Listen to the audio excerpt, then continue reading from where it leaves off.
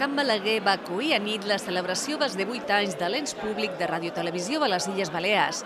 Un acte amb més de 300 convidats que fou un retrobament de periodistes, operadors, meteoròlegs, tècnics, col·laboradors i directius d'ahir i d'avui.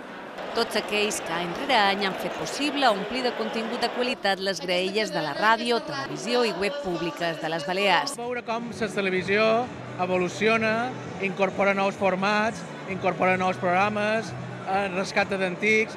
La veritat és que hi ha, hi ha aquesta sensació de que és un mitjà viu, és un mitjà en constant transformació, adaptació a la societat y el públic respon. Se ha constituido como un medio de comunicación esencial para las islas y me siento muy orgullosa también porque tenemos equipo todavía que continúa, del equipo fundador, digamos, y por los demás que, que nos han seguido los pasos. IB3 ha estat clau en acabar de donar forma a una comunitat autònoma que sense la televisió pública moltes de les coses que han passat durant aquests 18 anys no els haguessin viscut de la mateixa manera.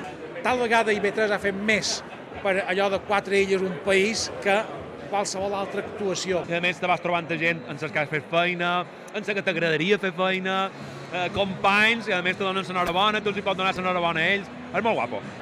El director general d'IV3 no va poder assistir per un problema de salut, però va intervenir a distància. Hem fet de 8 anys, en farem 180 com a mínim, ja són una mica grans. Gràcies a tots, gràcies per mirar-nos, gràcies per suportar-nos, gràcies per criticar-nos també.